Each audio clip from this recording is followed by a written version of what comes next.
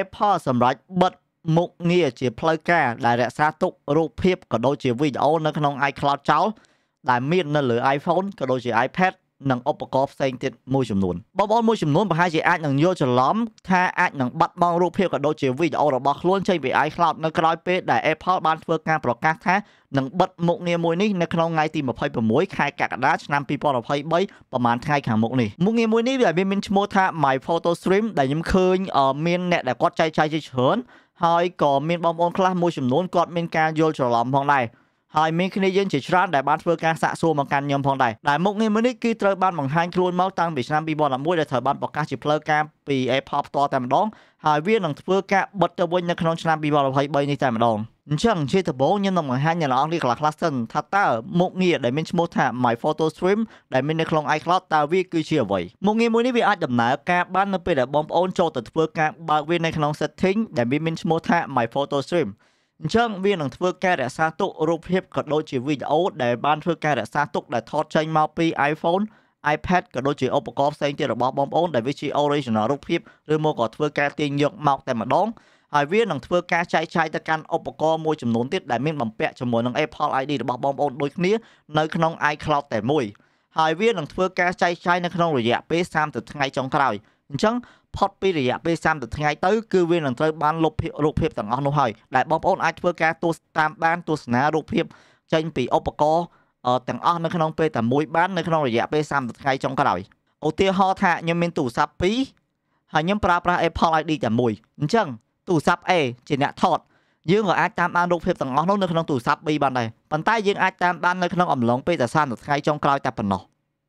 នៅក្នុងទូរស័ព្ទ B ហើយបន្ទាប់ពីរយៈពេល30ថ្ងៃហ្នឹងទៅទូរស័ព្ទ B មិនអាចទស្សនារូបភាពនោះបានទេគឺមានតែទូរស័ព្ទ A តែប៉ុណ្ណោះដែលរក្សាទុករូបភាពមួយហ្នឹងអញ្ចឹងខ្ញុំគិតថាឧទាហរណ៍ប៉ុណ្នេះគឺអាចឲ្យអ្នកនរនេះធ្វើការយល់បានយ៉ាងងាយស្រួលតែម្ដងអញ្ចឹងខ្ញុំសូមបញ្ជាក់ជាមួយនឹងបងប្អូនថាបើទោះបីជាមុខងារមួយនេះវាត្រូវបានប្រកាសបិទជាផ្លូវការពី Apple ក៏បិទមែននៅក្នុងថ្ងៃទី26ខាងមុខហ្នឹងបងប្អូនមិនចាំបាច់មានការព្រួយបារម្ភថារូបភាពដែលបងប្អូនបានរក្សាទុកនៅក្នុង iCloud នឹងត្រូវបានបាត់បង់នោះទេ នៅពេលដែលមុខងារនឹងត្រឹមត្រូវបានប្រកាសបិទជាផ្លូវការនៅក្នុងថ្ងៃទី26នេះបងប្អូនចាំបាច់ខ្វល់អីទាំងអស់ពេលដែលមុខងារនឹងវារំបាត់បង់ទៅ device មួយណាឬមួយក៏ iPhone មួយណាដែលវានៅមានរក្សាទុករូបភាព original ដើមដែលជារូបភាពថតចេញ ដំបងពីទូរស័ព្ទមួយហ្នឹងឬមកក៏ទាញយកដំបងមកគឺទូរស័ព្ទមួយនឹងហើយដែលអាចរក្សាទុករូបភាពមួយនឹងបានដដែលឬមួយក៏ឧបករណ៍មួយណាដែលបានទាញយកវាមកចេញពី iCloud តែម្ដងហើយខ្ញុំចង់បងប្អូនបាញ់ចាយដាច់វាមិនមែនជាជាការបិទ iCloud ទេដែលយើងនៅតែអាចប្រើប្រាស់ iCloud បានធម្មតាដដែលដែលយើងអាចធ្វើការ store វាបាននៅក្នុង iCloud Photo អញ្ចឹងបងប្អូនកុំយល់ច្រឡំថាការបិទ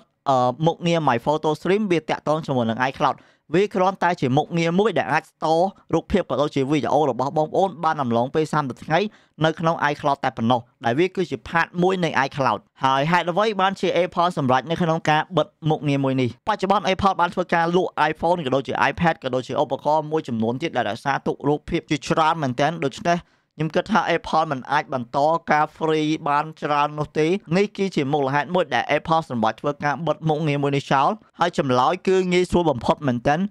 គឺ Apple ចង់ឲ្យបងប្អូនធ្វើការបង់ជាមួយនឹងសេវាកម្ម iCloud បើសិនជាបងប្អូនចង់រក្សាទុករូបភាពទាំងអស់នេះបានយូរអង្វែងណាមួយវាក៏អាចធ្វើឲ្យ Apple អាចរកចំណូលបានច្រើនពី iCloud ទៀតបងផងដែរពេលដែលលក់ទូរស័ព្ទឲ្យអ្នកនរនេះហើយ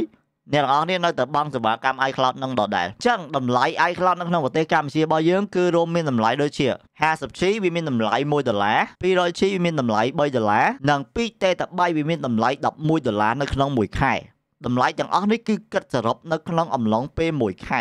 ចឹងនៅក្នុងអំឡុងពេលមួយខែអ្នកនរត្រូវតែបង់ម្ដង Anyway អរគុណអ្នកនរនេះសម្រាប់ការតាមដានវីដេអូមួយនេះខ្ញុំក៏ចង់បញ្ជាក់ជាមួយអ្នកនរនេះថាអ្នកនរក៏មានការព្រួយបារម្ភអីថា